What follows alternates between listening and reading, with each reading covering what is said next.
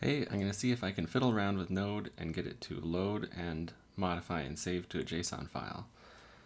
So I'm going to create a new folder.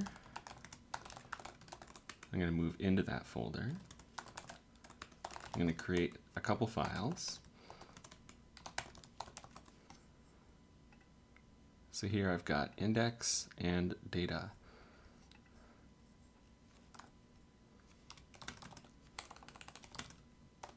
I'm going to put one, two, three. And here I'm just going to say hello. So that's working. So if I say fs should be the fs module, and then I said log fs read file, oops, read file sync.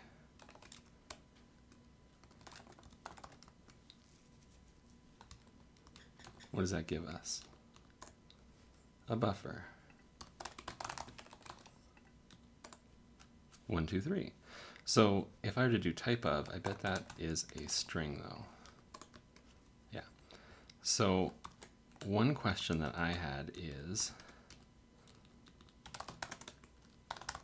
can Node require a JSON file? I thought it could.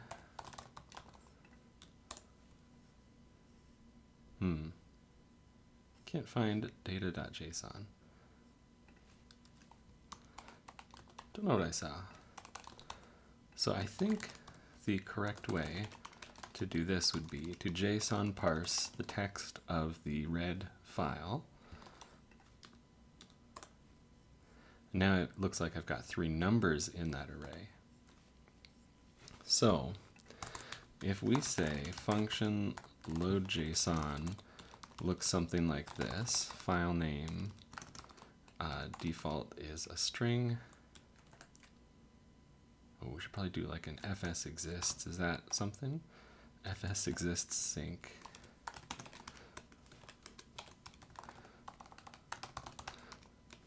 So if the file name exists, then we want to return reading the file name, that file, and converting it to string. Otherwise, we'll just say nothing. So we can probably simplify this whole thing here, if else to return that, yes or no. Okay, so load JSON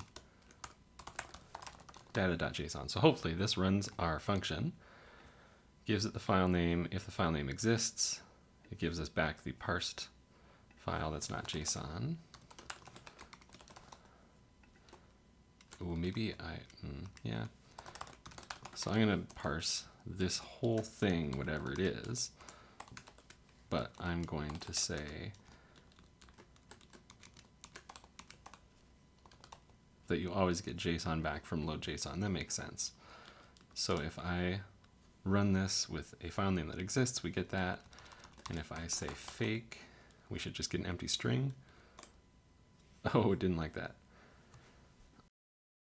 Do I have to do a string containing an empty string? What would you do for an empty JSON value? That makes sense. It could be whatever you want. It could be an empty array. We'll just do null. So that's going to be our load. I bet we can do something very similar with save JSON and say whatever the JSON is,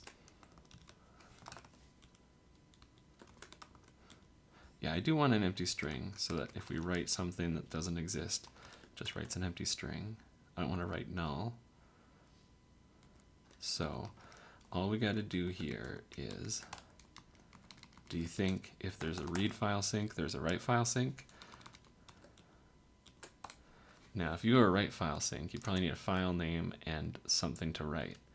Do you think it would be file name JSON? I guess I have to stringify that first. Or do you think it would be JSON file name? I'm guessing probably file name first. We could easily look this up, but we're just going to try it and see.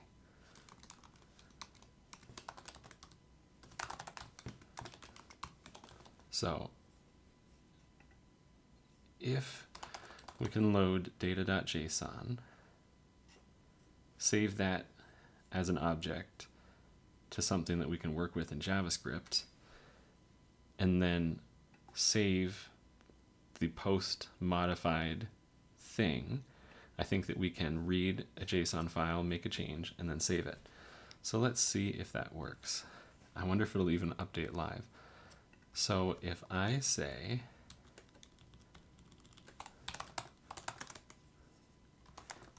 data equals load JSON data.json, and then we're going to do data push for save JSON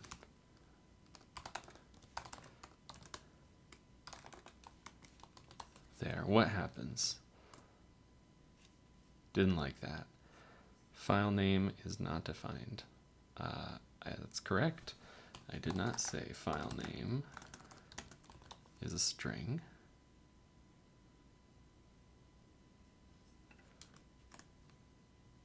And there we go. It updated. So here, if we had something like this that said, uh, um, my data, and then it had an array of something. Uh, let's just do strings here. Uh, that's not JSON, it needs double quotes.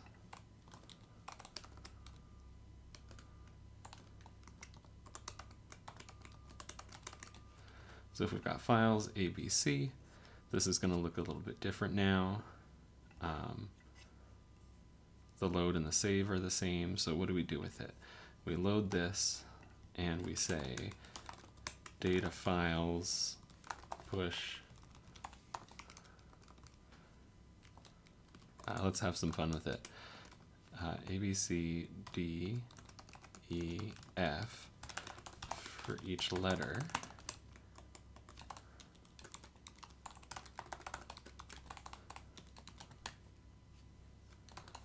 So now we should end up with some extra characters. What did I do wrong? T title. Oh, I have to quote everything. JSON is strict. It works, but it is strict. For each. There we go. So Actually, we can make that a little bit nicer. there we are. So JSON stringify allows you to specify the indentation. So before I hadn't specified that, so there wasn't any indentation.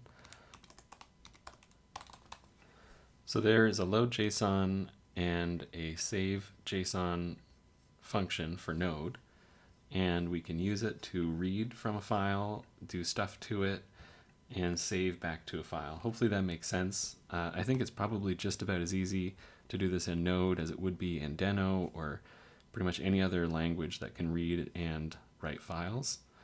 It's probably the same complexity, just you use different function names and different libraries to do it. So that's kind of all that there is to that.